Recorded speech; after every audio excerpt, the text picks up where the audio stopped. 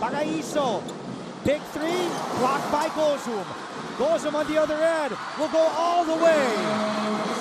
Will Gozum with a breakaway layup, just his third field goal.